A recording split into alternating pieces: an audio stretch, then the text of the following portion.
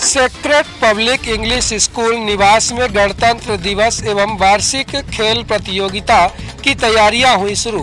बता दें, सिंगरौली ज़िले के निवास में संचालित विद्यालय के छात्र छात्राओं द्वारा लगन के साथ स्पोर्ट्स की तैयारियाँ की जा रही है। विद्यालय के प्राचार्य ने जानकारी देते हुए बताया, हमारे यहाँ बैडमिंटन, शतरंज, volleyball, football, carrom kho kho जैसे इंडोर एवं आउटडोर जैसे गेम का संचालन होना तय हुआ है।